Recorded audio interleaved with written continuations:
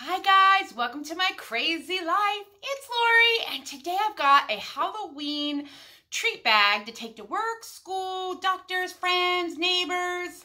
It's super easy, super frugal, and I just want to show you how I do it. And also this could be transformed for really any special holiday occasion just because it's just my technique. So let me show you the materials that we're gonna need to do the Halloween one some type of tape. I prefer packing tape um, because of the weight of the items I'm putting in here, but whatever tape works for you. Um, washi. I've got Halloween washi because I'm doing a Halloween bag. But if you're doing this for Christmas, Valentine's Day, President's Day, Arbor Day, whatever day, you just need some decoration. Um, I also have some different stickers. I got these stickers at the dollar spot at Target, and they were a dollar, or Bullseye's Playground. I got these two sticker sheets at the Dollar Tree um, in the Halloween section, and these are like metally, metallic looking stickers, um, but any sticker will do. Rubber stamps, paint, crayons, you could have your kid color them. Now we need some of these bags. Here's what's fun. I bought two packages of them thinking, oh yeah, good. Thinking they were a 12 pack. No, they used to be a 12 pack because this is one I dug out of my stash and they came in 12 to a pack. And this is the one I just picked up and they were only eight to a pack. So I, I mean, I have to buy some more, but these are for Christmas I bought to do an advent calendar, but I had to bust into a pack of these, so instead of two of these for my advent calendar of the three of the eight, we'll need three packs. But anyway, so I needed 14 bags. So I busted into these, and these are in the wedding section at the Dollar Tree. Let me throw that away. And I just use like a gift, an old gift card for the washi tape.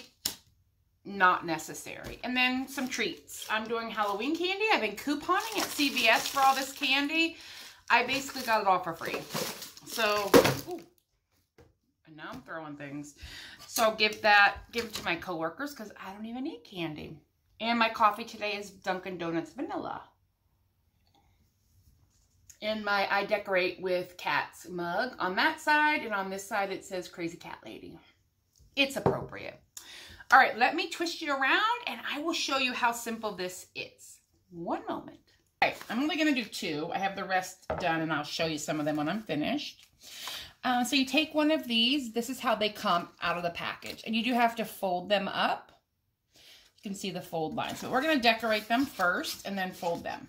So I have some boys. I have some girls. It doesn't really matter, but we're going to decorate these. Uh, we'll do some, this is the washi tape that I like. And I want this to say completely Happy Halloween across it with the two skulls. So we're going to do that. Um, one of these gift cards, if you're using this paper tape, come in handy to tear it. And now you get almost a perfect cut. And the same thing over here. And that's just it. And this, if you don't know what washi tape is, it's paper tape. Almost like a decorated masking tape, I suppose. But it's much thinner but it's super fun. I've got so much washi tape. I am on a spending freeze with the washi unless I come across something super spectacular or spooktacular. All right, well, that one just says Happy Halloween. On this one, maybe we'll do some orange and black pumpkins. Um, washi tape is everywhere, but I usually get mine at like Michael's or Joann here, we'll put this one at the top. And the fun thing about washi, let's say I put it there and didn't like it, it literally comes right off. It's um, it's very forgiving. I use it a lot in my planner or my bullet journal. But let's do this across the top. And um, if you're going to do washi, these are actually better than scissors because you can just rip it. Just like that. So we'll put that away. I also have some orange with black bats, and I have some skeletons. I think I bought a pack at Michael's that was seasonal. It had all the different holidays in it. And that these are skeletons, which are super fun. But we'll put those away. And then you can just decorate however you want your child, however, it doesn't matter. I mean, these are just plain white. You can rubber stamp, anything like that. We're going to do some pumpkins on this one. We'll put a pumpkin over here, and then this uh, um, is super fun. But I like, out of this pack, Boo and Eek. So we'll do that over here. Cat fur out of there. This teal color seems to be big this season. Um, at Target anyway. And Eek. So there we go. Just decorate. I just do the front, but you can literally do whatever you want. This one's going to have some ghosts and black cats on it. Um, yeah, you can do whatever you like. You could put people's names on them. I'm not going to do that because I don't know who will be there on the day that I bring these to work, which actually this year will be on Halloween. We're having a little um, bake-off at my office and a um, like decorate your desk and stuff. So I thought I would bring these in. Now, the only step you have to do is build these boxes is you need to fold on the lines. So I typically go this direction and then I fold the top in, but not all the way down. If you want to fill these bags and then seal them up here, you can. I am going to have too much candy to do that. I'm not quite, I think I'm done, but I might want to buy some pens or something to stick in with this candy. Um, and then you just fold down your sides like this, and I'll show you the other one as well. Now, on the way I do it is I put the two sides down I put this one down and then I tuck this in. Now, or not, lies. I put this one down and then the two sides. And then that tab, I'll show you again, goes right into here. Right? This is paper though. And so I feel like, oh, I'm not even in camera here. I feel like if I don't put some tape down here that the weight of that is going to, the weight of this candy is going to bust out the bottom. So I've also done these with hot glue. And then I just seal the bottom up. And then I put it down here like that and push the tape just to make sure it's stuck. And that's just going to hold it nice and good. So let's do it again, and this time I'll make sure I'm in camera, in, the, in frame. Let's start using the right terms here. So I open it up. You just got to kind of fold it on the sides at the top. And then I go around the bottom and I fold them down along these seams. Now, if you're a good paper person and you know how to make paper boxes, I mean, this is just cardstock. Go for it.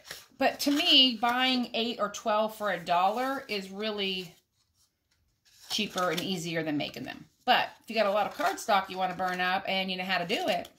All right, I put that this one in first, then I do these two sides, and then I come in with this top piece here. And now the bottom is secured. And it will hold a fair amount of weight. I haven't decided yet if I'm going to put like ribbons or anything. Um, you can use like some of that fake paper grass stuff, shred I think it's called. It's just messy in a situation like this. I have done that at Easter time, but it's messy. And then I fill it with the candies of our choosing.